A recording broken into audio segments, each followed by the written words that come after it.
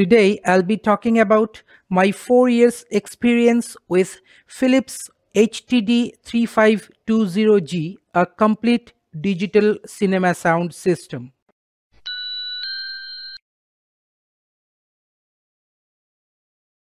This is a Dolby digital cinema sound system with DVD playback and speaker output.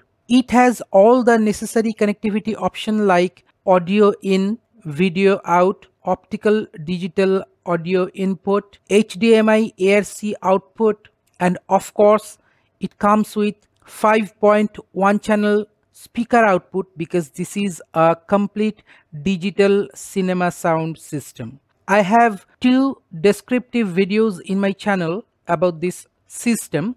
Now today I am going to discuss about my 4 years experience with this product. I bought it from Amazon on 16th February 2016 and now this is 2020. So from last 4 years I've been using this product regularly. I use this product to amplify the sound and decode the 5.1 channel digital cinema sound from my television. I watch movies from my DVD disc with the help of this DVD player inbuilt in it. Since this is a DVD player, it doesn't come with 4K display output. It comes with 720p display output, but this machine upscales the 720p videos to full HD 1080p video.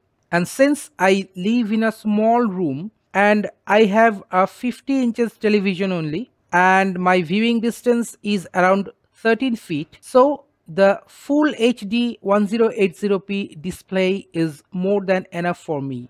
This theater system comes with n number of input facility like USB, microphone input for karaoke, 3.5 millimeter audio input socket for any kind of mobile device connectivity. This is a mid-range product, but Philips never compromises with its quality the sound quality is very good clear and crystal because this system comes with a crystal clear sound engine. It uses a digital amplifier and a top-notch digital signal processor to decode the 5.1 audio encryption it comes with five cube speakers. Those looks really good really cute. And every speaker has its own color coded jack that fits in a particular color coded socket at the back of the system. The subwoofer is enough to deliver a deep bass and I never felt any issue with the sound in my room. I can connect my mobile phone wirelessly with the help of Bluetooth and I can listen the stored music in my mobile phone with the help of this sound system. In these four years, I have never seen any issue with this theater system.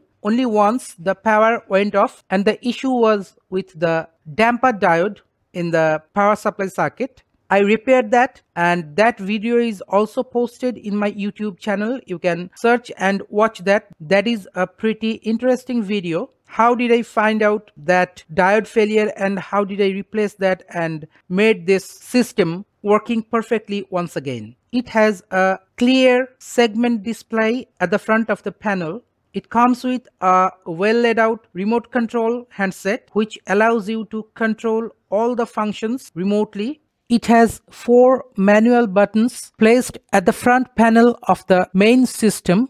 This is a class 1 laser product. The remote control handset is not at all power hungry. It runs on single AAA size battery and at the full volume this system consumes only 50 watts of power. I can depend on this product for a nice 5.1 decoded cinema sound. This is a quite reliable system for your digital home cinema sound. I've been using this product since 4 years and I have never found any issue with the sound or its functionality. I use this regularly to watch movies, to watch television, to listen to my music and I'm very much satisfied with its performance with its reliability.